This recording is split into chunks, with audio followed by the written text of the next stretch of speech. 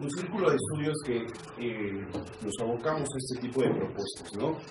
Las charlas que realizamos pro de eh, cultivar identidad y cultura. Como es costumbre, cada semana hacemos distintas actividades. Y bueno, el día de hoy está volviendo ya después de casi un año, eh, un gran expositor, un gran amigo, ¿no? Al cual lo vamos a recibir con un fuerte voto de aplausos.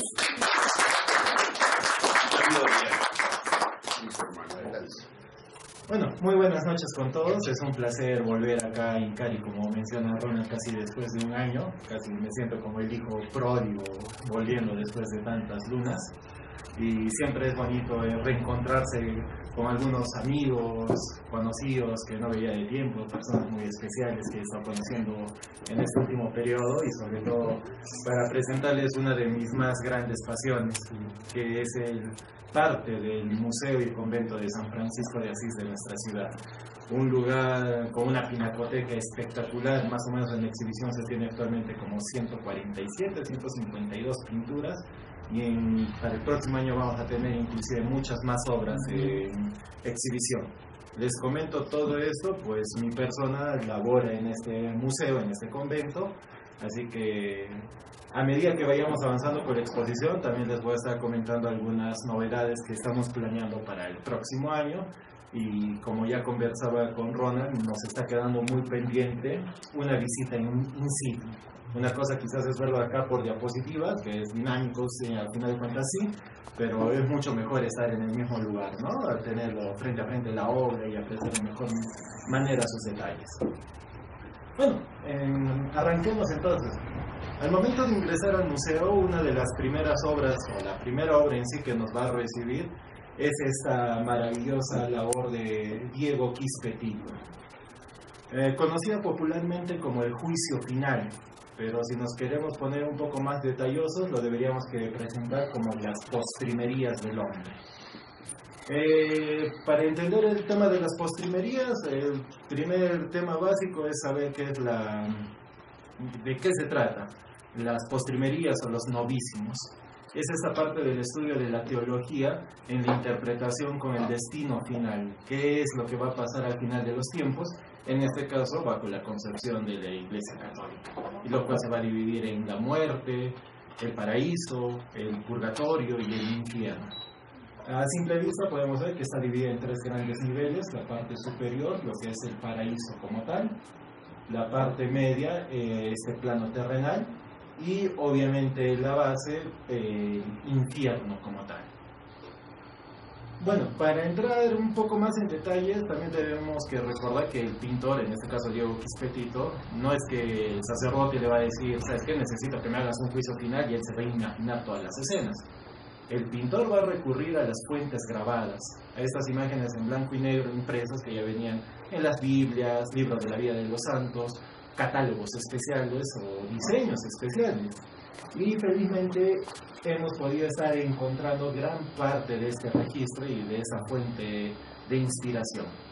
Eh, como podemos leer, el grabado principal es el de Felipe Tomasini de 1606.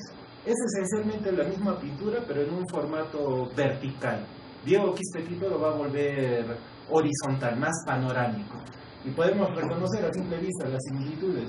Jesús sentado sobre el orbe de la tierra, tal cual, apoyado en el, tema, en el arco iris, lo cual nos va a recordar la alianza eterna. La Virgen María, acá ya comenzamos a notar diferencias, acá está arrodillada y acá la vemos sentada. A San Juan Bautizo, primo de Jesús, lo vemos arrodillado y acá sentado. Eh, la fuente grabada no quiere decir que el pintor lo va a copiar tal cual, sino le va a servir como un buen referente para basarse, para transmitir lo que nos quiere enseñar. En este caso, es el destino final. También, bueno, en este caso, Jesús parado sobre el orbe con la mano derecha alzada en símbolo de saludo, bendición, como tratando de dar a entender que este juicio está, bueno, relativamente bastante cerca de nosotros. María, Juan Bautista, todos rodeados, acompañados por una corte celestial conformado por santos, santas y mártires de la iglesia. Y, también santos fundadores de otras órdenes religiosas. Acá podemos distinguir a Santo Domingo de Guzmán, el clásico hábito blanco y negro, y de acá debería que ser San Pedro Nolasco. Pero en todo este grupo también vamos a encontrar a una conocida nuestra. Acá al rincón derecho, de blanco y negro, también va a estar Santa Rosa de Lima. Algo también muy interesante de esta parte eh, es que Diego Quispetito firma esta obra para 1675 y Santa Rosa de Lima va a estar siendo canonizada para 1671, es decir, cuatro años antes de la realización de la obra. Entonces ahí ya comenzamos a notar la importancia de la utilización de la primera Santa de América para este proceso de evangelización, no solo como una imagen recurrente de devoción, sino que ya está acá en ese, diríamos, panteón católico, junto a los más grandes santos de la historia de la iglesia. Entonces se resalta, se realza esa presencia y esa imagen. También seguimos la similitud, San Francisco de Asís sosteniendo la cruz de la pasión, solo que en este caso Diego Quispetito le aumenta las alas. Eh, San Francisco tiene el título de ser Padre Seráfico. Eh, esto se debe, bueno, en la escala angelical tenemos que saber también que se divide en nueve niveles, en tres triadas, siendo los ángeles los más cercanos a nosotros y los serafines los más cercanos a Dios. Bueno, San Francisco en su juventud, resumiendo un poquito su vida, diríamos, ¿no? Fue como cualquiera de nosotros le gustaba salir, estar con sus amigos, sus amigas, fiestas, todo lo normal. Pero recién en ese lazo de sus 22 a sus 24 años de edad es que tiene toda esa conversión de vida. Y al abrazar la vida religiosa se siente muy avergonzado de todos sus lujos. Se comienza a castigar de sobremanera y pedía, pues, ¿no?, acompañar a Jesús en ese dolor de la cruz. Tanto así que, según las crónicas franciscanas, Jesús se le manifiesta hasta en dos ocasiones como un serafín, un ser de seis alas, y en uno de esos encuentros le transmite los estigmas. Es por ese amor incondicional superlativo es que a San Francisco se le da ese título. Está ahí, al ladito de Dios, como un serafín más. Y bueno, también está acompañado los tres primeros ángeles a la derecha y a la izquierda, con símbolos de la pasión. Acá tenemos eh, la columna, el paño de la Verónica, la caña, el clavo y el martillo, las escaleras y los ángeles que están alrededor más cumplen la función como un coro celestial. Bueno, la parte media, el plano terrenal, acá hay muchos detalles que en verdad nos importan. En la parte media, saliendo de un rompimiento de gloria, los rompimientos de gloria va a tratar de ser la representación terrenal de algo divino. Eh, si veríamos la serie de la vida de San Francisco de Asís, Santo Domingo de Guzmán o San Pedro Nolasco o tantas otras pinturas como en la catedral, donde el santo está en oración, ya sea la Virgen María, el mismo Jesús, se les, se representa alrededor de unas nubes. Es eso, esa interpretación de algo divino, algo superior en este plano terrenal. A eso nos referimos cuando mencionamos rompimiento de gloria. Bueno, San Miguel Arcángel con la espada de fuego en la mano, derrotando al demonio que tiene a sus pies. Y en su mano izquierda, bueno, aquí en la imagen no se nota mucho, en el grabado sí se nota, que lleva una balanza. Y en esa balanza se estaría pesando el alma de una persona. Y dependiendo cómo haya sido su vida, si fue una vida de bien, el nombre debería que estar inscrito acá, en el libro de la vida. Pero si fue una vida llena de excesos y pecados, estaría en el libro que sostiene ese demonio. También acá abajo estaría esta parte de la Biblia que menciona que los muertos se levantan de sus tumbas precisamente para afrontar esta parte de, de su juicio. Algo que también resalta mucho aquí, que llama mucho la atención, es que la Iglesia Católica en sí no solo nos reconoce a tres arcángeles dentro del canon, dentro de lo oficial, a Miguel, a Gabriel y a Rafael. Pero el personaje que tenemos acá por iconografía, también con espada de fuego, podría ser muy posiblemente Uriel. Uriel ya no está dentro del canon lo cual no nos debería que sorprender. Si vemos con detenimiento muchas pinturas en muchos de nuestros conventos, hay algunas escenas que sí están inspirados en libros apócrifos. Pero es un detallito que no quería dejar de pasar por alto.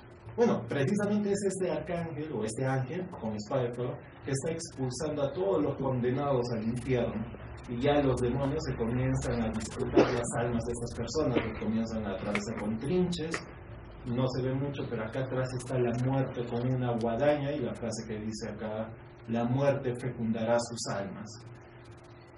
Todo lo contrario ocurre en ese otro extremo, donde los ángeles, sobre todo los que estoy apuntando, llevan instrumentos musicales, van recibiendo estas almas para que asciendan a través de esta torre, para que así puedan llegar al paraíso. En la parte superior de la torre estarían San Pedro y San Pablo. Pero bueno, acá en la foto no, no, sale todo. Eh, acá debería que estar el purgatorio, representado en una cueva. Y bueno, no, acá hay un papa, un cardenal y un fraile, pero detrás del papa hay un inca.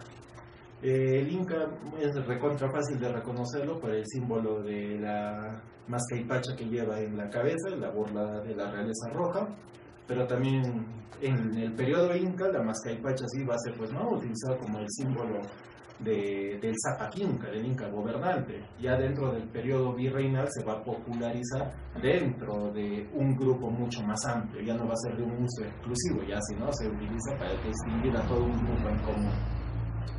Es de ahí que sale la teoría de los investigadores bolivianos, Teresa Gister y su esposo José de Mesa, que postulan esa hipótesis de que ese Inca en el purgatorio sea muy posiblemente el autorretrato del pintor, Diego Quispetito.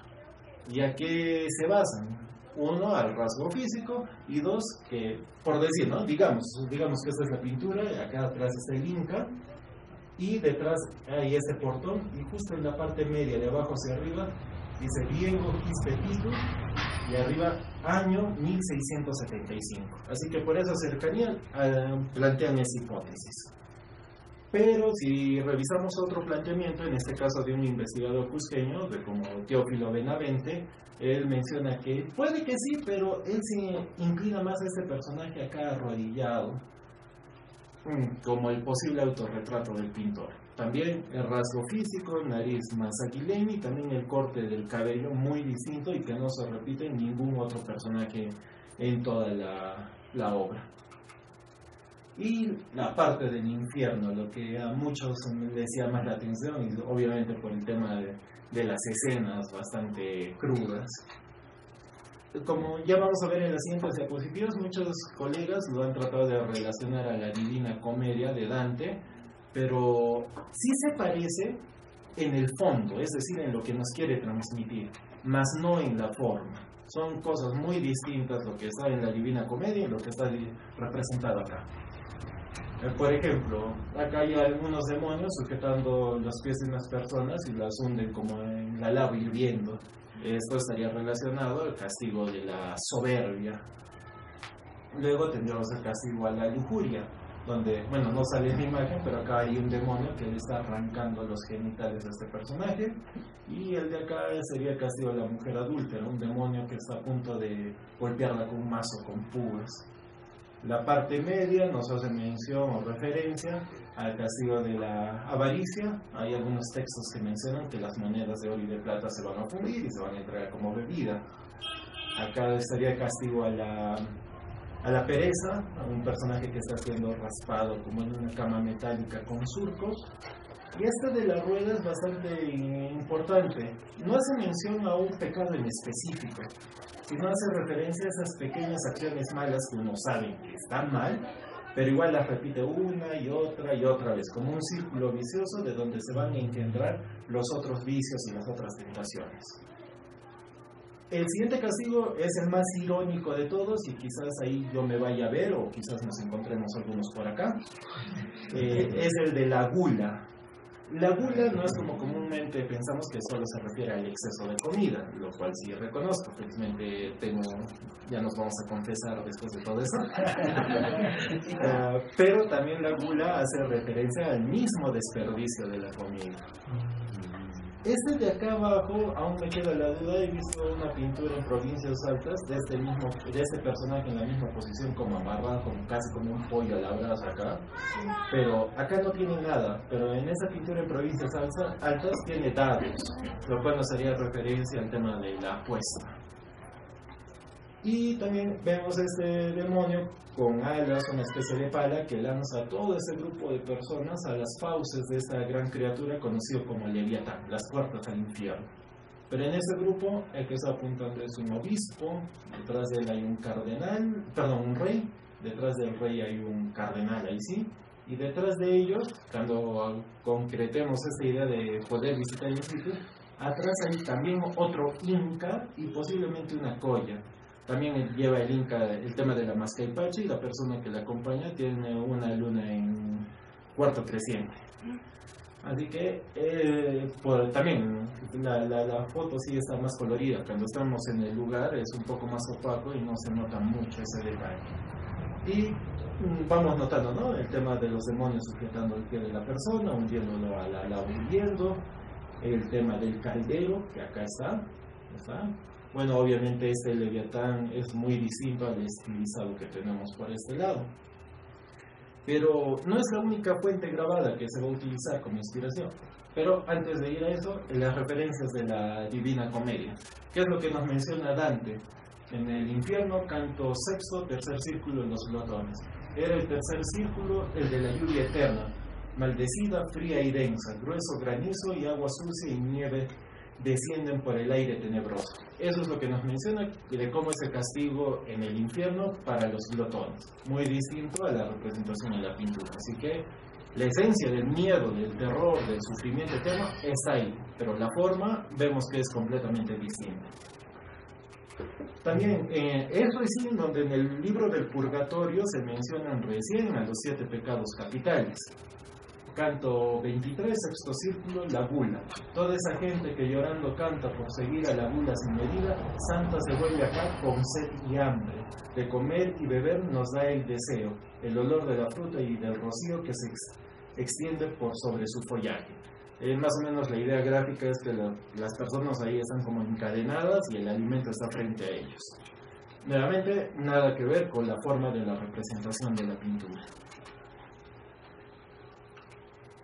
Esta es también una investigación relativamente reciente de 2017, del uh, holandés uh, Dan Van Hesch, que le encuentra esta correlación con este grabado de Jeronimus Bosch, a quien más conocemos popularmente como el Bosco. Todo lo que está enmarcado en los rectángulos amarillos son todas las correlaciones, todas las similitudes que tenemos con la pintura de Diego Quisquetito. Por ejemplo, algunas de ellas, bueno, no sale tanto, eh, la idea de la torre, los personajes subiendo por las escaleras, el enfrentamiento y el castigo, está en este sector. Eh, este, bueno, comparando con eh, la pintura mural de Tadeo Escalante de Templo de Guaro, debería, estas deberían que ser hostias, es decir, utilizar, jurar en nombre de Dios en vano. Ahí se nota la similitud, claramente. Este demonio que me encanta en forma de sapo, estilizado. El tema de castigo de la gula, como ya les mencionaba, siendo cocinados en calderos. Si se ve el detalle de este personaje con este tipo de sombrero con dos cuernitos, este personaje también lo tiene el tema de la avaricia, que le están metiendo el líquido por, la, por un embudo, es tal cual. Así que de ahí vemos esa inspiración también. Y esta es una, un emparejamiento espectacular con el juicio final de Miguel Ángel de la Capilla Sixtina. En este caso, este debería que ser Caronte, y acá lo vemos adecuado como un demonio con alas y una pala la expresión de este personaje es tal cual al que tenemos por acá.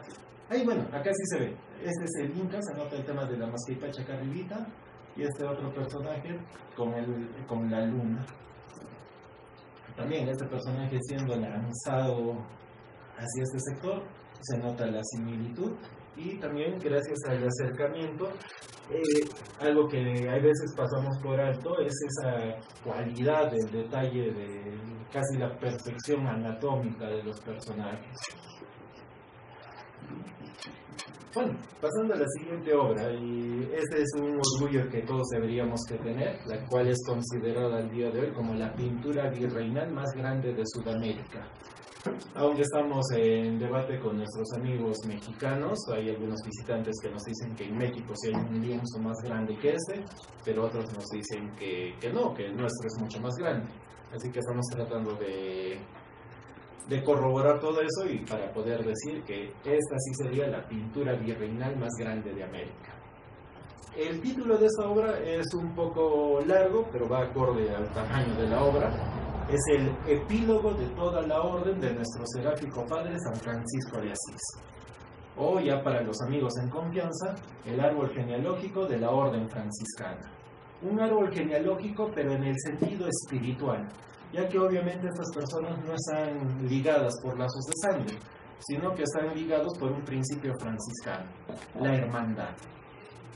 Es por ello que San Francisco aparece a la base, como ese tronco del cual se va a originar toda esa gran familia. Su ejemplo de vida. La segunda y tercera rama, franciscanos también, con altos cargos dentro de la iglesia que van a destacar, como los cardenales, obispos y aquí en la parte central, seis papas. De la cuarta a la novena rama es un grupo muy variado, pero esencialmente son miembros de la realeza. Reyes, reinas, duques, condes, princesas, de todo. La décima rama se distingue por la gran cantidad de monjas, y acá al medio está Santa Clara de Asís llevando la custodia y también sus primeras hermanas.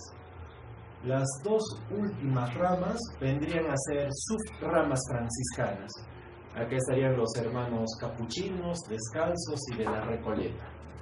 Y vemos el emparejamiento con el grabado de Peter de York, este grabado es también inicios del siglo XVII y la similitud está ahí. Hay ligeros cambios como el cambio de la posición de los carteles informativos. También ahorita les vamos a mostrar los cambios sustanciales.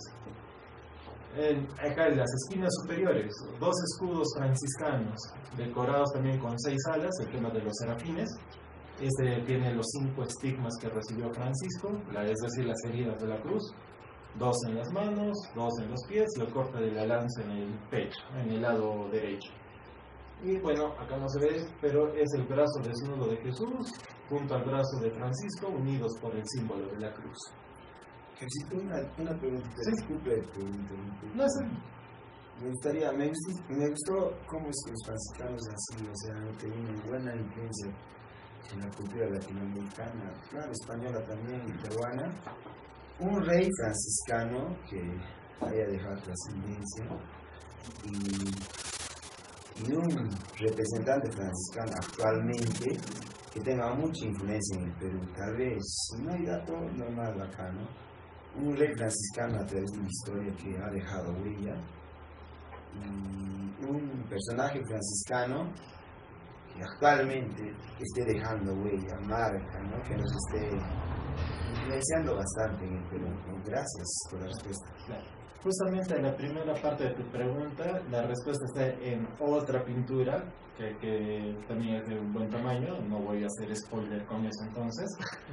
eh, franciscano que actualmente franciscano franciscano no es, pero sí tiene base, sería el Papa Francisco. Tiene una base de su franciscanismo, mm. en el franciscanismo, perdón, aunque es jesuita, pero se nota mucho la influencia que ha tenido en su relación temprana con los franciscanos. De ahí no solo el nombre.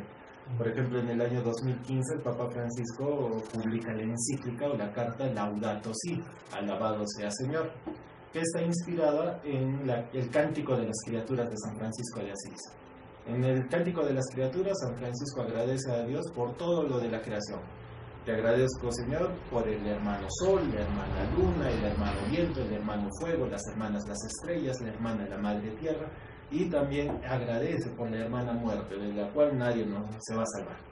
Bueno, el Papa Francisco toma eso como inspiración y en esa encíclica, en esa carta, llama a todos, a todas las personas de buena voluntad, no solo a los católicos, llama a todos que nos hagamos de lado nuestras diferencias ideológicas, políticas, religiosas, de lo que sea, para hacernos cargo del cuidado de nuestra casa común, de la hermana, la madre tierra. Y lo cual seguramente ya varios la han relacionado con la parte de esa religiosidad andina, ¿verdad? El tema de la Pachamama, la hermana, la madre tierra, Taita Inti, el hermano sol. Es por eso que Guamán Poma de Ayala menciona que de las órdenes religiosas de los que tuvieron un mayor acercamiento y aceptación, rápidamente fueron los franciscanos. En el Perú, bueno, no ahorita, en, más que todo he escuchado que por en las misiones, en la selva están haciendo bastante trabajo, pero eh, también pues no, no es que las cosas que se van a hacer las van a estar publicando siempre, es como que hacemos el trabajo y esa es nuestra conciencia, no es necesario estar divulgándolo hay veces. Bueno, la primera diferencia, y con lo que, cual he discutido con algunos ponentes que ya han pasado por acá, es la coronación del árbol. Eh, cuando uno ve a la Virgen María acá arriba, pareciera a primera vista María Auxiliadora. Pero María Auxiliadora es patrona de los salesianos, y los salesianos ya somos del siglo XIX, con, con Don Bosco. Acá además le faltaría el cetro el cartelito de acá abajo resume todo lo que les acabo de decir de la distribución de los personajes. Y el cartelito menciona que es la Inmaculada Concepción.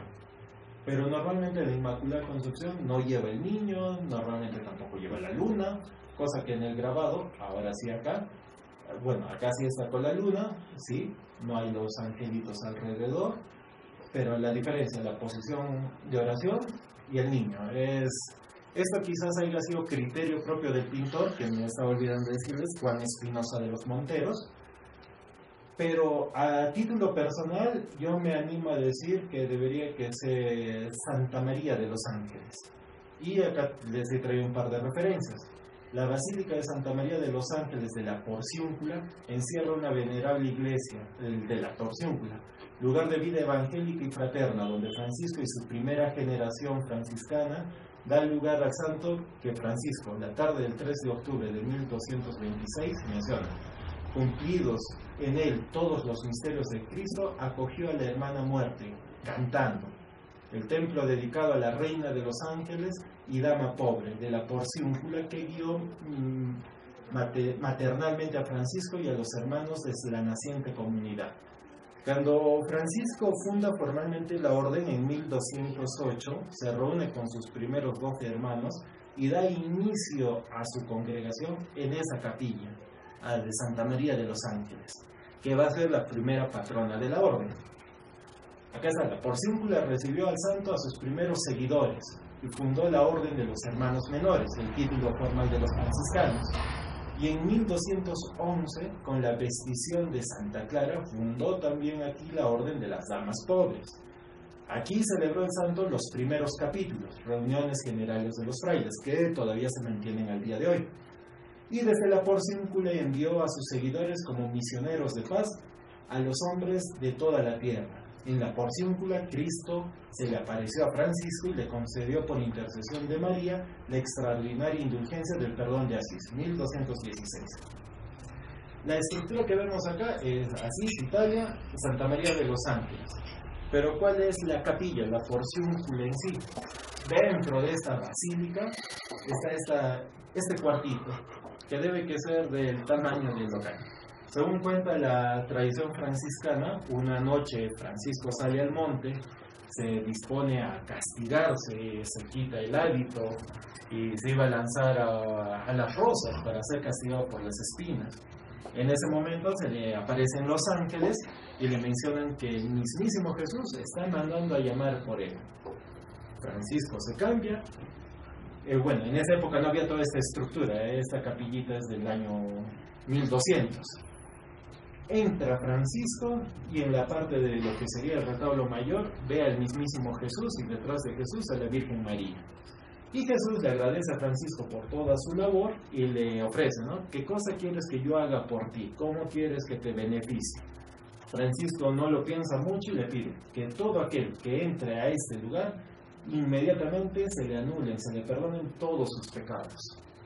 Ahí Jesús como que se da cuenta, ¿no? Que ha metido la pata, que es mucho lo que Francisco le está pidiendo. Pero sabe que su mamá está atrás.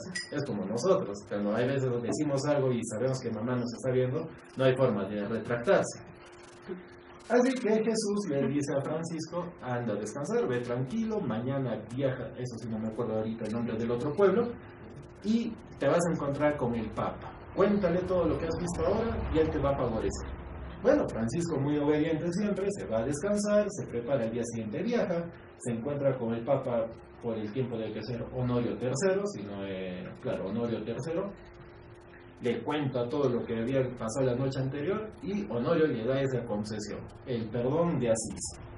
Eh, pero no era exactamente que ibas y se te perdonaba, sino ya que tenías que escuchar la misa, confesarte, comulgar y alguna acción de vida. Actualmente este perdón de Asís, esta bula papal, aplica para todos los templos franciscanos del mundo. Y también hay una tradición gastronómica, eso como diríamos un paralelo al puchero, es una sopa también con vegetales. Lamentablemente acá en Cusco se estaba perdiendo la tradición, pero este año se hizo eh, ese plato llamado la porciúncula en el templo de la Recoleta. Así que próximo año esto es agosto, el próximo año sí vamos a, a la Recoleta y uno, nos borramos todos nuestros pecados, comenzamos desde foja cero, ahí la parchamos con un cuchero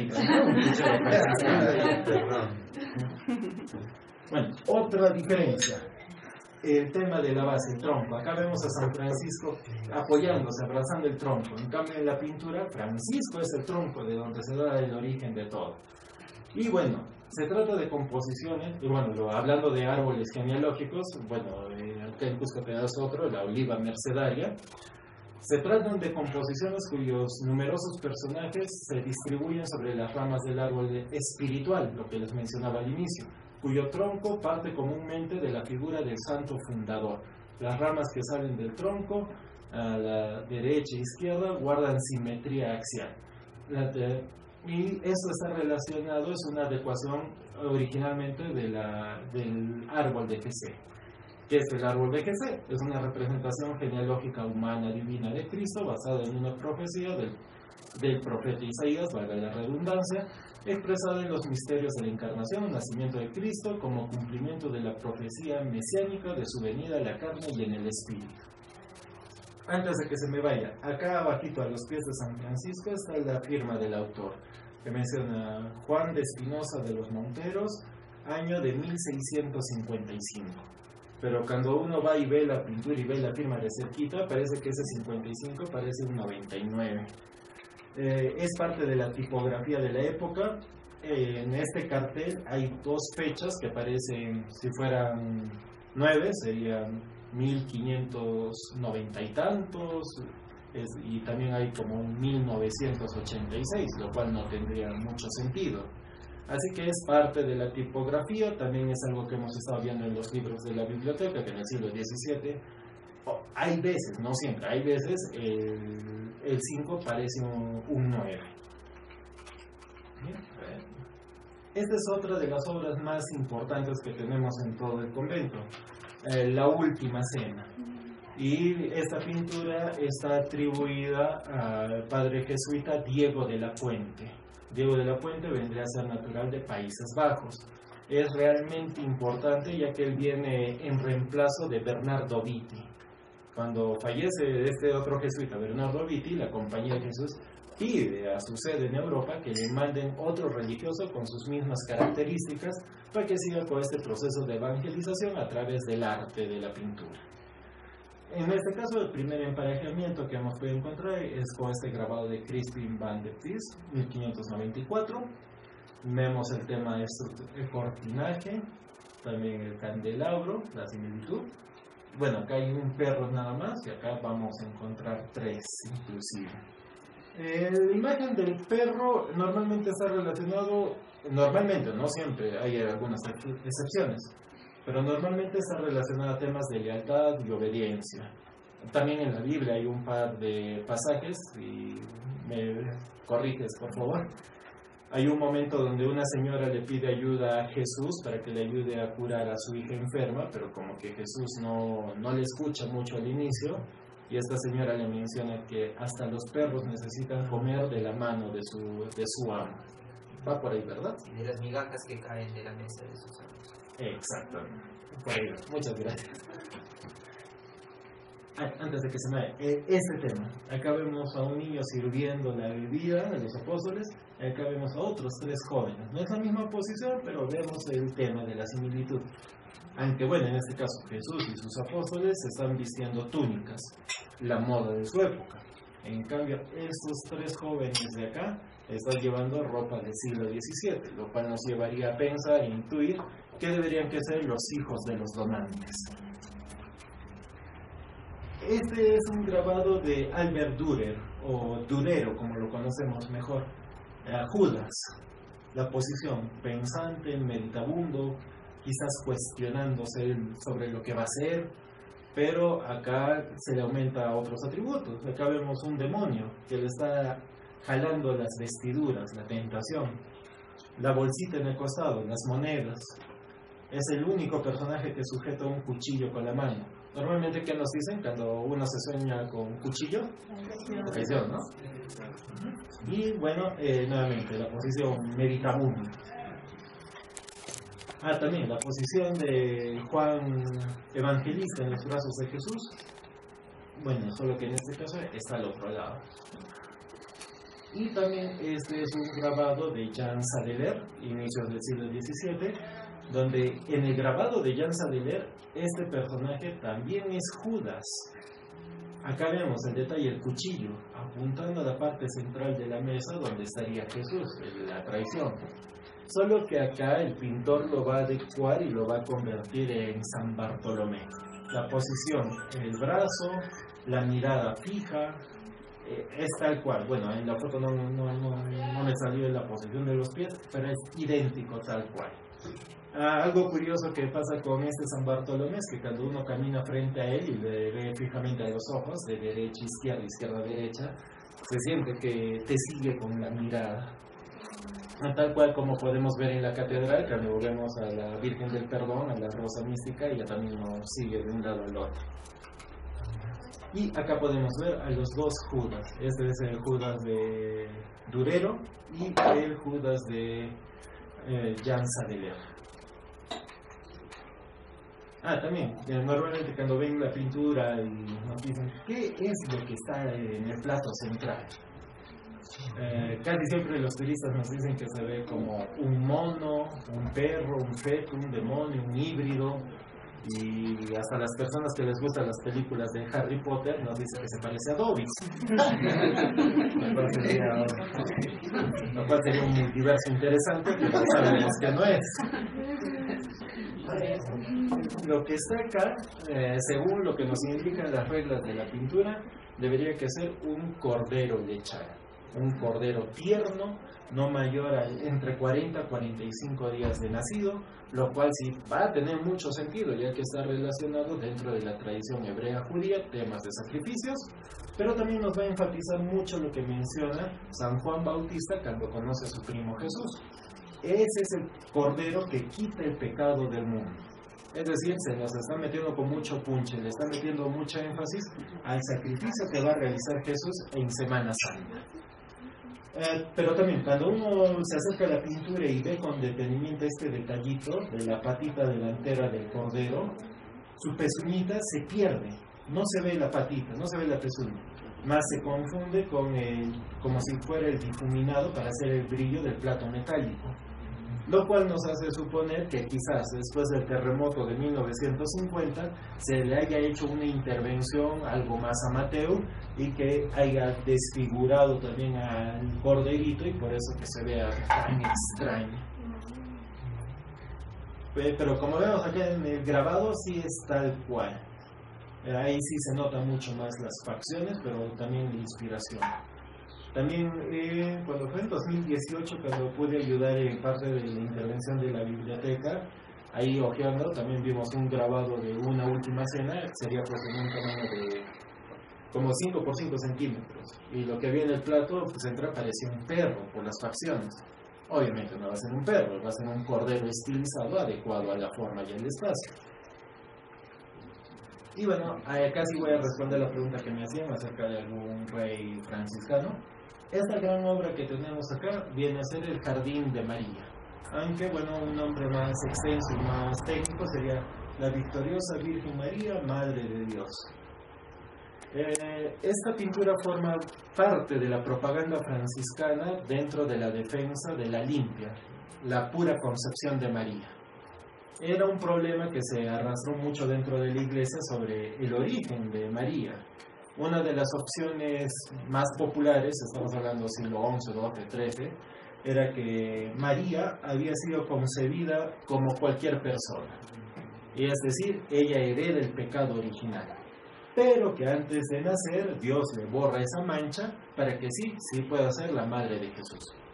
Y la otra postura que los franciscanos adoptan como propia es que no, desde un inicio Dios ya va a separar el alma de María y la va a mantener pura, la va a mantener limpia para que pueda ser la madre de Jesús. Bueno, eso ya entra dentro del debate teológico que no, no es el tema de esta noche. Bueno, vemos a la Virgen María, posición orante, coronada con dos estrellas, parada sobre la luna, también en la estrella, y detrás de ella el gran jardín que está dividido en 24 pequeños jardines. Dentro de cada uno de ellos hay diferentes símbolos, y estos símbolos están inspirados en la Biblia, eh, precisamente en el libro del Cantar de los Cantares, alegorías que van a ser adaptadas y tomadas para realzar el estado de gracia de María. Hay algunos símbolos que sí tienen mucho sentido, que podemos correlacionar muy rápidamente, ya sea por, por la tradición, eh, la paloma blanca, Espíritu Santo, eh, la fuente de gracia, por acá arriba de que está el espejo, pero hay otros símbolos que sí suenan o se ven un poquito más rebuscaditos, que tienen un trasfondo más grande. El fénix, por ejemplo, que como que a primera vista, ¿no? María, pureza, fénix, por dónde va, no se va a notar mucho, pero por acá atrás está el arca de la alianza, el arca, es eh, un tema netamente, pues no esa propaganda teológica adaptada a la iconografía. Y bueno, detrás está Jesús, ya se muerto, y de sus heridas brota una gran cantidad de sangre con la cual está purificando, reafirma la gracia de María. Ah, antes de que se me olvide, acá hay uno, dos, ¿Dónde están los otros dos? Pero son cuatro bracitos que aparecen con plumas. Hacen mención a los franciscanos que van a adoptar esta defensa, como por ejemplo Duns Scott, que es uno de los mayores defensores de este dogma de la limpia, pura concepción de la Virgen María. Tanto así que él tiene un debate en la Universidad de la Sorbona en París contra los dominicos, y se dice que se fue a orar, le pidió inspiración a la Virgen, revisó la Biblia un par de veces y se bajó todas las tesis de los dominicos que no estaban a favor de la postura que habían adoptado los franciscanos. Es algo anecdótico. San Francisco y Santo Domingo de Guzmán se conocieron, fueron muy buenos amigos, se habrán visto tres, cuatro veces en la vida, pero eso fue suficiente para que sus órdenes inicien en paralelo y sean consideradas órdenes hermanas. Estamos hablando de 1210, 1220 como promedio.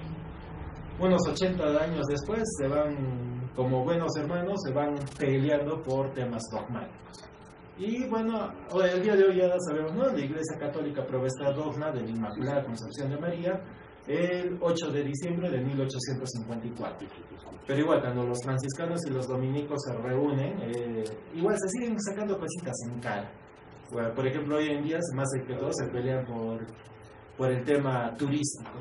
Así como aquel Coricancha, administrado por los dominicos, adquiere una gran cantidad de visitantes, es la otra cara de la moneda en Lima. San Francisco de allá recibe más visitantes que, que Santo Domingo allá. Así que es una relación bastante curiosa cuando uno va tratando con los religiosos. Bueno, el jardín está resguardado por tres, cinco ángeles también llevan los símbolos de la pasión y al lado derecho están las tres órdenes franciscanas. Acá está en letra blanca, primer ordo, segundo ordo y tercer ordo.